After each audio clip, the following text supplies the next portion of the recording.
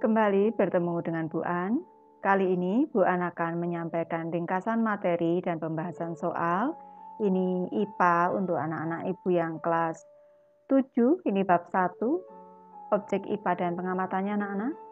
Ini dari buku IPA kelas 7 BSE semester 1, revisi 2017, ada di halaman 1 sampai dengan 13. Baik, Ibu langsung ke pembahasan materi anak-anak.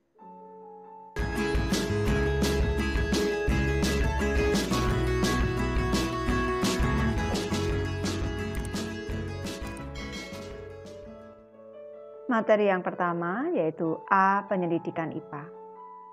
Penyelidikan ilmiah IPA melibatkan sejumlah proses yang harus dikuasai, antara lain sebagai berikut. Yang pertama adalah pengamatan.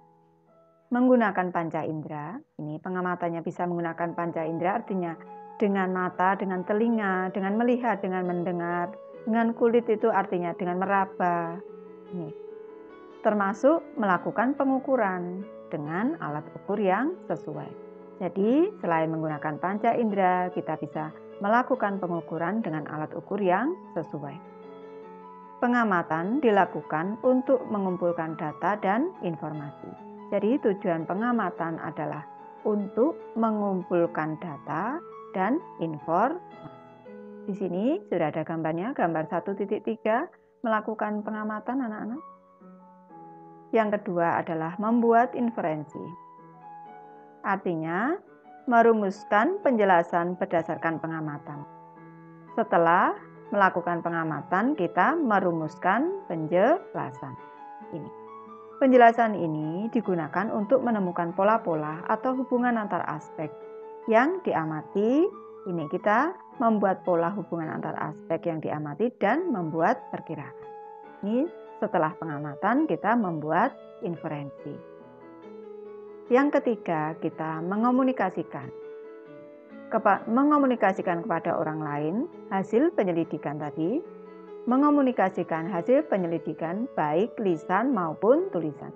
Jadi, kita bisa mengomunikasikan hasil penyelidikan kita dengan secara lisan maupun dengan tulisan. Hal yang dikomunikasikan termasuk data yang disajikan. Ini bisa dalam bentuk tabel, grafik, bagan, dan gambar yang relevan. Ini. Setelah membuat inferensi, kita mengomunikasikan hasil pengamatan. Jadi Ibu jelaskan di sini, Ibu beri penjelasan di sini. Ini proses yang harus dikuasai dalam penyelidikan ilmiah adalah yang pertama adalah pengamatan, Ibu tulis di sini. Pengamatan. Yang kedua, membuat inferensi. Dan yang ketiga adalah mengomunikasikan. Mengomunikasikan. Ibu lanjutkan anak-anak. Objek yang dipelajari dalam IPA meliputi seluruh benda di alam dengan segala interaksinya untuk dipelajari pola-pola keteraturannya. Meliputi objek yang dipelajari IPA dalam IPA itu meliputi benda seluruh benda yang ada di alam. Artinya bisa ini benda mati, bisa juga benda hidup. Dengan segala interaksi untuk dipelajari pola-pola keteraturannya. Di sini ada gambar 1.7 dari sisi ukuran, dari sisi ukuran objek yang diamati dalam IPA itu mulai benda renik.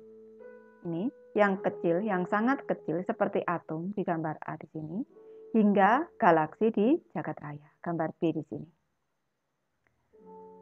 Objek tersebut dapat berupa benda yang sangat kecil atau renik, misalnya bakteri, virus, bahkan partikel-partikel penyusun atom, juga dapat berupa benda-benda yang berukuran sangat besar, misalnya lautan, bumi, matahari, hingga jagat raya ini. Gambar 1.8 di sini menunjukkan berbagai makhluk hidup dan lingkungannya yang dapat dijadikan objek pengamatan di dalam IPA. Gambar A di sini virus, gambar yang B di sini pohon besar, dan gambar yang C ini objek pengamatannya adalah ekosistem laut. Ibu lanjutkan anak-anak. Ini perlu diketahui pada saat ini, penyelidikan tentang alam telah menghasilkan kumpulan pengetahuan yang demikian kompleks. Untuk memudahkan, pengetahuan-pengetahuan tersebut digolongkan menjadi empat, yaitu yang pertama adalah fisika, kedua kimia, ketiga biologi, dan keempat adalah ilmu bumi dan antariksa. Bu jelaskan yang pertama, fisika mempelajari tentang aspek mendasar alam, misalnya materi, energi, gaya, gerak, panas, cahaya, dan berbagai gejala alam fisik lain. Yang kedua, kimia. Meliputi penyelidikan tentang penyusun dan perubahan zat. Selanjutnya, biologi kalau biologi itu mempelajari tentang sistem kehidupan, mulai dari ukuran renik sampai dengan lingkungan yang sangat luas. Yang keempat, ilmu bumi dan antariksa. Mempelajari asal mula bumi, perkembangan dan keadaan saat ini, bintang-bintang, planet-planet, dan berbagai benda langit lainnya. Ibu ringkas, jadi pengetahuan pengetahuan tersebut digolongkan menjadi empat, yaitu fisika. Ini tentang materi, energi, gaya, cahaya, dan sebagainya. Kimia ini penyusun dan perubahan zat. Biologi, sistem kehidupan. Dan yang keempat, ilmu bumi dan antariksa. Ini mempelajari tentang bumi, bintang, planet, dan berbagai benda lain. Ibu bahas materi B, pengukuran sebagai bagian dari pengamatan. Yang pertama, pengukuran. Mengukur merupakan kegiatan penting dalam kehidupan dan kegiatan utama dalam IPA. Contoh, kamu hendak mendeskripsikan suatu benda. Misalnya, mendeskripsikan dirimu. Kemungkinan besar kamu akan menyertakan tinggi badan, umur, masa tubuh, dan lain-lain. Tinggi badan, umur, dan masa tubuh merupakan sesuatu yang dapat diukur. Segala sesuatu yang dapat diukur ini disebut besaran.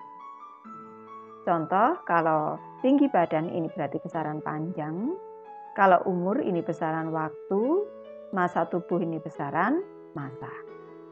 Ibu ulangi sekali lagi. Segala sesuatu yang dapat diukur disebut besaran. Kalau tinggi badan ini besaran panjang, umur ini besaran waktu, selanjutnya masa tubuh ini besaran.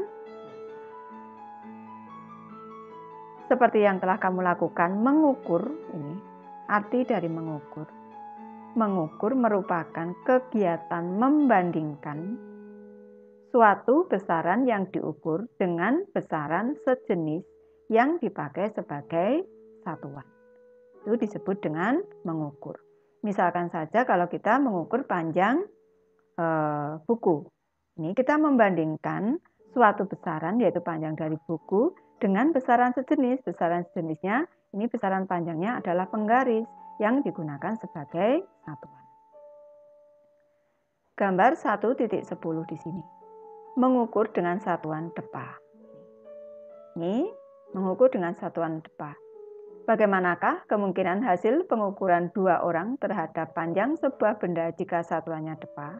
Tentu saja kalau satuannya depa seperti ini hasilnya relatif. Karena panjang depa setiap orang itu berbeda. Ini karena hasil pengukuran ini bisa berbeda setiap orang, maka depa ini termasuk satuan tidak baku. Ibu beri penjelasan di sini, keterangan di sini, depa ini termasuk satuan tidak baku. Karena hasil dari pengukuran panjang dengan depa ini, setiap orang bisa berbeda panjangnya. Selanjutnya di sini gambar 1.12 ada mistar atau penggaris. Perhatian, Perhatikan satuan baku yang tertulis dalam mistar ini. Di sini ada milimeter, ada inci, ada juga sentimeter. Jadi, Ibu tuliskan di sini sentimeter ini dalam penggaris di sini ini merupakan satuan baku. Satuan panjang baku ini anak-anak. Kalau depa ini merupakan satuan tidak. Baik, Ibu melanjutkan membahas tabel 1.1 awalan satuan dalam SI artinya sistem internasional dan kelipatannya. Ini ada awalan tera, simbolnya adalah T besar, kelipatannya dalam bentuk bilangan pangkat dengan basis 10, ini 10 pangkat 12, artinya 10 pangkat 1 triliun anak-anak ini. Selanjutnya awalan giga, simbolnya G besar, 10 pangkat 9, artinya 1 miliar ini. Mega, simbolnya M besar, 10 pangkat 6, Awalan kilo simbolnya K kecil 10 pangkat 3. 10 pangkat 3 itu sama dengan 1000. Ini. Hekto simbolnya H kecil 10 pangkat 2. Ini sama dengan 100. DK simbolnya D kecil A kecil 10. Di sini artinya 10 pangkat 1. Desi simbolnya D kecil 10 pangkat negatif 1. Ini sama dengan 0,1 anak-anak 1 per 10. Sedangkan senti simbolnya C kecil ini 10 pangkat negatif 2 ini sama dengan 0,01. Mili simbolnya M kecil 10 pangkat negatif 3 ini berarti 1 per 1000 ini anak-anak 0,001. Selanjutnya mikro simbolnya adalah mu 10 pangkat negatif 6 ini 1 per 1 juta anak-anak ini dan nano simbolnya adalah N kecil 10 pangkat negatif 9. Ini. Sistem internasional lebih mudah digunakan karena disusun berdasarkan kelipatan bilangan 10, seperti ditunjukkan pada tabel 1.1 ini. Penggunaan awalan di depan satuan dasar SI menunjukkan bilangan 10 berpangkat yang dipilih. Misalnya, di sini awalan kilo, berarti 10 pangkat 3. Kalau awalan kilo, di sini ini berarti 10 pangkat 3 atau 1000. Berarti kalau 1 km, 1 km berarti 1 kali 10 pangkat 3. 1 kali 10 pangkat 3 berarti 1 kali 1000, ini sama dengan 1000 meter. Contoh lain, pembangkit listrik menghasilkan daya 500 MW. Yang berarti sama dengan meganya ini, meganya ini 10 pangkat 6. 10 pangkat 6. 10 pangkat 6 itu 1 juta, berarti 500 dikali 1 juta, 500 juta. Jadi sama dengan 500 juta watt. Jadi penulisan awalan ini untuk menyederhanakan angka hasil pengukuran. Sehingga mudah dikomunikasikan kepada pihak lain. Karena kalau ditulis 5 juta megawatt ini terlalu panjang anak-anak. Atau kalau 10 pangkat 9 di sini 1 miliar misalnya ini penulisannya terlalu panjang. Akan lebih mudah, misalnya kalau 5 juta watt ditulis dalam 5 megawatt. Di sini. 10 pangkat 3 meter sama dengan 1 km. 1 cm tadi, 1 cm ini sama dengan 10 pangkat negatif 2 meter. Kalau ditulis dalam bentuk desimal seperti ini, 0,01 meter. Akan lebih mudah ditulis dalam bentuk 10 pangkat negatif 2 meter. Ibu lanjut ke materi bandingkanlah besaran dan satuan pada mikroorganisme. Mikroorganisme ini berarti organisme yang sangat kecil. Bakteri memiliki panjang sampai 10 mikrometer anak-anak. Virus memiliki panjang sampai dengan 100 nanometer. Berdasarkan data tersebut, manakah yang berukuran lebih panjang, bakteri atau virus? Jelaskan jawaban. Ini gambar 1.14, apa satuan yang digunakan untuk mengukur bakteri? Kalau bakteri tadi menggunakan mikrometer. Baik, pembahasannya ada di sebelah kanan di sini. 1 mikrometer sama dengan 10 pangkat negatif 6 meter. Sudah Ibu jelaskan di atas tadi kalau 1 mikro, kalau meter ini 10 pangkat negatif 6 satuannya meter. Panjang bakteri adalah 10 mikrometer anak-anak. Ini artinya 10 kalau kita jadikan satuannya menjadi meter dikali 10 pangkat negatif 6 meter. Ini sama dengan kalau bentuk perkalian 10 ini artinya 10 pangkat 1. Ini kalau bentuk perkalian eksponennya kita jumlahkan. Ini sama dengan 10 pangkat 1 dikurang 6. Sama dengan 10 pangkat negatif 5. Ini sama dengan 1 per, di sini 1 nolnya ada 1, 2, 3, 4, 5. 1 per 100 ribu. Ini kalau dalam bentuk pecahan biasa. Selanjutnya, sekarang kalau virusnya satuannya nanometer. 1 nanometer sama dengan 10 pangkat negatif 9 meter. Panjang virusnya tadi adalah 100 nanometer. Sama dengan 100 dikali 10 pangkat 9 meter. Ini 100 ini sama dengan 10 pangkat 2 dikali 10 pangkat negatif 9 meter. Sama dengan 10 pangkat 2 dikurang 9. Sama dengan 10 pangkat negatif 7 meter. Kalau kita jadikan dalam bentuk pecahan biasa menjadi ini pangkat negatif 7 berarti nolnya ada 71, 2, 3, 4, 5, 6, 7. Berarti 10 juta. Nah, kalau bakteri itu 1 per 100 ribu meter, kalau virus 1 per 10 juta meter. Sudah kelihatan di sini, Ibu bandingkan.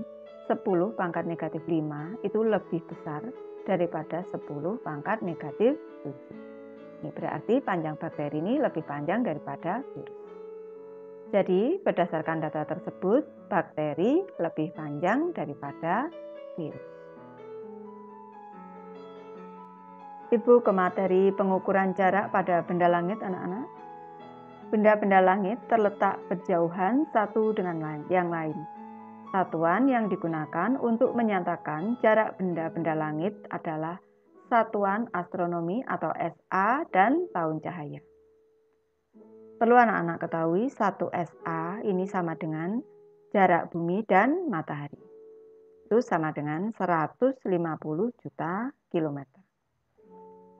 Kalau satuan satu tahun cahaya ini sama dengan jarak tempuh cahaya selama satu tahun itu jaraknya sama dengan 9,5 triliun kilometer. Satuan astronomi. Jarak bumi dan Pluto adalah 5.900 juta kilometer. Berapakah jarak tersebut dalam satuan astronomi? Coba hitung. Baik, Ibu bahas di sini. 1 SA ini sama dengan 150 juta kilometer. Jarak bumi dan Pluto adalah 5.900 juta kilometer. Kalau satuannya kita jadikan SA, berarti kita bagi dengan 150 juta kilometer. Kilometer dengan kilometer kita sederhanakan, juta dengan juta kita sederhanakan. Di sini 0 dengan 0 kita sederhanakan. Tinggal 590 dibagi 15 sama dengan 39,33 ini tiga-tiga terus anak-anak. Ini SA, Satuan Astro. Ibu lanjutkan ke materi ayo kita latihan anak-anak. Soal nomor satu, apakah yang dimaksud dengan mengukur? Dalam melakukan pengukuran, mengapa harus dipergunakan satuan pengukuran yang baku? Baik, Ibu bahas di sini. Mengukur, tadi sudah Ibu jelaskan, merupakan kegiatan membandingkan suatu besaran yang diukur dengan besaran sejenis yang dipakai sebagai satuan. Misalnya membandingkan panjang buku dengan penggaris besaran jenis yaitu penggaris yang dipakai sebagai satuan. Dalam melakukan pengukuran, ini mengapa? Ini dalam melakukan pengukuran, mengapa harus dipergunakan satuan pengukuran yang baku? Dalam melakukan pengukuran harus menggunakan satuan pengukuran yang baku agar bisa diterima oleh semua orang. Tidak terjadi kesalahpahaman maksudnya anak-anak semua orang bisa menerima. Soal yang kedua berilah contoh besaran yang satuannya dalam sistem internasional adalah sekon atau detik. Kalau ditanya besaran contoh besarannya adalah besaran waktu anak-anak ini besaran waktu contoh besaran yang satuannya dalam SI adalah sekon atau detik adalah besaran waktu Misalnya, waktu yang dibutuhkan Benny untuk berjalan dari ruang tamu ke halaman rumah adalah 10 sekon. Di sini menggunakan satuan sekon. besarannya adalah waktu. Kalau ditanyakan besaran saja, besarannya adalah waktu. Kalau contohnya, ini contoh selanjutnya adalah dari besaran waktu, yaitu waktu yang dibutuhkan Benny untuk berjalan dari ruang tamu ke halaman rumah adalah 10 sekon. Ini satuannya sekon. Lanjut ke soal nomor 3. Neptunus adalah salah satu planet dalam tata surya kita. Jarak Neptunus dengan matahari adalah 30 SA anak-anak. Berapa jarak ini dalam kilometer? Yang ditanya dalam satuan kilometer. Ini pembahasannya. 1 SA sama dengan 150 juta kilometer. Jarak Neptunus dengan matahari adalah 30 SA. Ini sama dengan 30 dikali 150 juta kilometer. Sama dengan 4 miliar 500 juta kilometer. Kalau ibu singkat menjadi 4,5 miliar kilometer. Jadi jarak Neptunus dengan matahari adalah 4,5 miliar kilometer. Lanjut ke soal nomor 4. Mengapa semua ilmuwan dan produsen atau penghasil barang-barang pabrik di seluruh dunia harus melakukan pengukuran dengan menggunakan satuan baku yang sama. Ini menggunakan satuan baku yang sama. Ini pembahasannya, semua ilmuwan dan produsen barang-barang pabrik di seluruh dunia harus melakukan pengukuran dengan menggunakan satuan baku yang sama karena alasan yang pertama agar hasil pengukurannya tetap anak-anak. tetap atau konsisten maksudnya kalau satu kilogram ya tetap satu kilogram. Yang kedua, universal atau umum. Artinya bersifat umum. Ini bisa diterima oleh semua orang dan juga bisa dipergunakan digunakan di berbagai negara. Karena kalau ilmuwan ataupun barang-barang produsen barang-barang pabrik ini barang yang dihasilkan tidak hanya mungkin dipasarkan di satu negara, bisa di berbagai negara. Sehingga kalau eh, satuan pengukurannya adalah satuan baku, ini negara lain juga bisa menerapkannya. Yang ketiga atau yang C adalah agar tidak ada masalah ketika ingin beralih dari satuan dari satu satuan ke satuan yang lainnya. Misalnya satu kilogram dijadikan gram. Ini akan lebih mudah. Satu kilogram sama dengan 1000 gram. Ibu sudah selesai membahas sampai dengan halaman 13. Untuk materi selanjutnya anak-anak bisa menonton di video Ibu selanjutnya. Terima kasih anak-anak sudah menonton. Semoga ini bermanfaat membantu anak-anak dalam belajar. Terima kasih.